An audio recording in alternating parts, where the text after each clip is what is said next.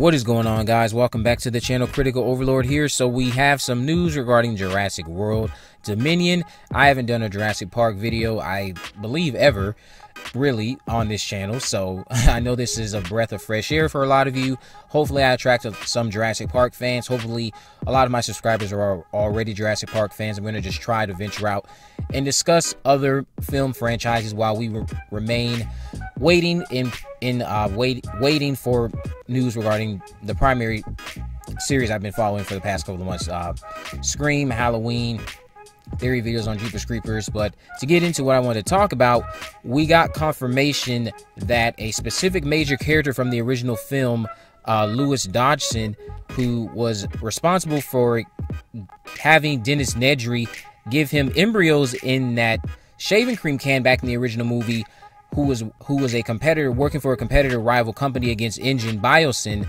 He will be returning. That character will be returning in Jurassic World Dominion. He will be portrayed by Campbell Scott. And I'm really excited about this because already we know that Jurassic World Dominion will have a lot of the returning, a lot of the main characters from the first two films and the third one, Jurassic Park 3. Uh, we have Sam Neill coming back to play Dr. Grant. We have Ian Malcolm back, once again being portrayed by Jeff Goldblum. And we have, uh, I, I can't think of her name, but the blonde the blonde character from Jurassic Park. I literally just went dead in regards to what her name was. She's going to be back as well with Dr. Grant and Ian Malcolm. So it'll be really interesting to see how they are introduced to the film and whether or not this Biosyn returning character, uh, Dodgson, whether he will be the one that brings them into the into the fold in regards to our new characters because the Jurassic World series, it's not being led by the characters from the original trilogy. It's being led by Chris Pratt and Bryce Dallas Howard. They play the characters of Claire and Owen, who are they've been like the one thing I will say about Jurassic World, this new trilogy, the consistency of the of the cast. The original trilogy, the first three Jurassic Parks, we have cast members that returned. Jeff Goldblum returned from the first movie to The Lost World. Then he was gone from the third.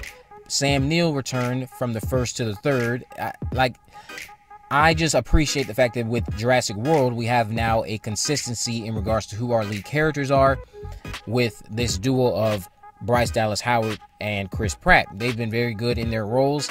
Uh, for the most part, I think this new reimagining or continuation from Jurassic Park 3 with Jurassic World and Jurassic World Fallen Kingdom have been decent.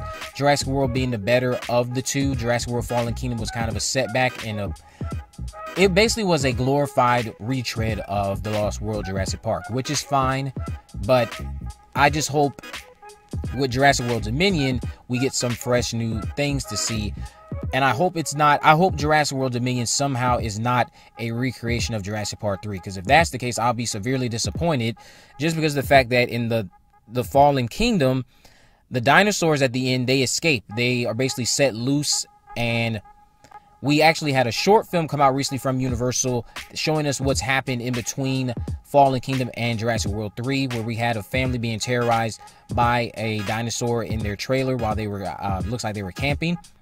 So I'm really excited to see how Jurassic World Dominion will build upon that. I'm hopefully we're getting a Rise of the Planet of the Apes type of movie. I'm hoping for it to be very action packed. I can't wait to see how this character of Dodgson will factor into the plot because he was a lot of people, including myself, after seeing the demise of Dennis Nedry in the original movie. After that, uh, Velociraptor took him out in in the in the truck or in that Jeep from Jurassic Park it was very um, interesting how that shaving cream can was highlighted and pinpointed on after his demise when it was rolling down into the mud. And it was kind of teasing us that at some point the series would revisit that character and that concept and go back to biosyn and possibly make them relevant again somewhere down the road. Now, that didn't happen in The Lost World or Jurassic Park 3. It did not happen in Jurassic World. It did not happen in Jurassic World The Fallen Kingdom, but it's nice to know that we will be getting uh, Lewis Dodgson back in Jurassic World Dominion. What role he will play, honestly, I think he's going to be one of the main villains, if not the main villain.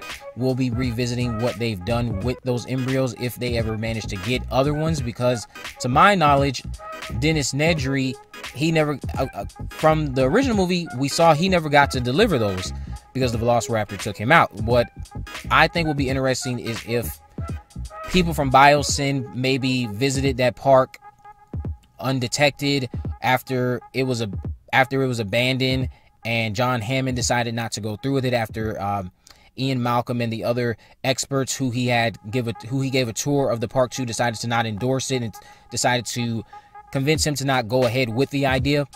I think it would be very interesting to find out that Biosyn, some people in connections with Biosyn who work for that rival company who was trying to catch up with InGen and the recreations of dinosaurs, maybe they went there and they retrieved that shaving cream can that Dennis Nedry unfortunately was unable to deliver with those embryos. Maybe they've done something with them and that'll factor somehow into the main uh, conflict with Jurassic World Dominion. I can't wait to see what happens with this film. I know production is supposed to start up.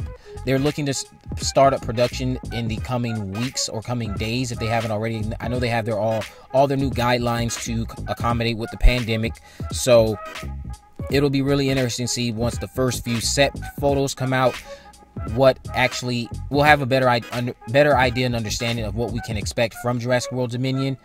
Um, I all to the best of my knowledge, I'm expecting a Rise of the Planet of the Apes type of movie. I really am. I'm expecting this movie to be one of the best.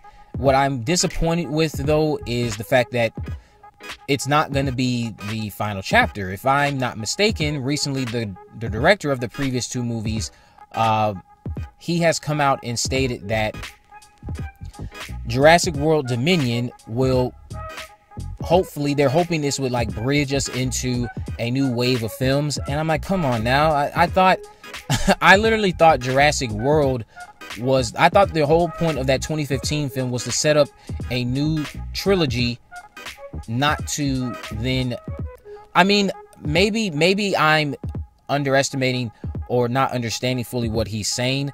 Maybe they're going to end that trilogy with jurassic world dominion but then Jurassic World Dominion will then lead us into another trilogy. That's the part I'm not really too satisfied with. I don't want to go into another trilogy. I think Jurassic Park and this whole idea and this concept has run its course. I think it's time to let this rest.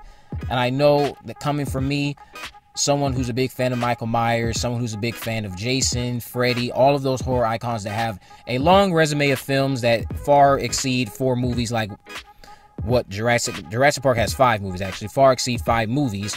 But at the same time, I don't think those those franchises should have gone on this long. I don't think that Michael Myers should have over eight movies like it does. I don't think the Nightmare on Elm Street series should have gone on past Dream Warriors. I don't think Friday the 13th should be as long of a series as it is, as it is because now I feel like at some point we need to favor quality over quantity, and I don't get that from Jurassic World when I hear stuff like this. It's it's uh, great to me that you want to keep this franchise and this universe alive because I love this world and I love these characters and I really am um, entertained by what we now have to offer to the franchise from these last two movies.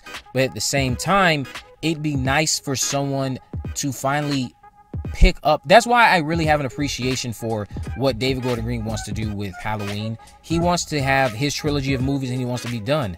He doesn't want to bridge out and do all these other things. I just appreciate when filmmakers have an idea, they map it out and they execute it. If everything goes right on the first stage, they move into the second stage and then they get to finish out their plan with the third stage with a nice trilogy or however many movies you have planned to plan to go.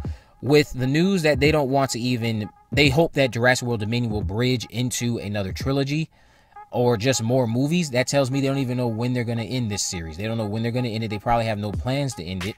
But I'm really excited. I can't wait to see all these returning characters come back. Can't wait for production to start so we can hear more details about Dodgson and or Dodgson. I think that's how you pronounce his name. I'm not really too sure, but I'm really looking forward to seeing how Biosyn and that character factor into this.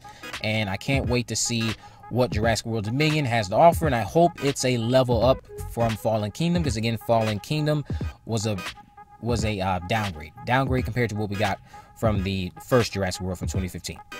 But let me know what you guys think about all this down in the comment section below. If you haven't already, make sure you subscribe, turn on post notifications so that you never miss a video.